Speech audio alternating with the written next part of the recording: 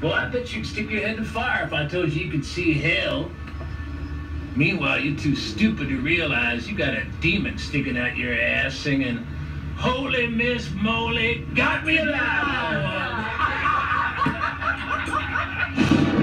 We change the subject, please? It's over. Ladies and germs, it's showtime!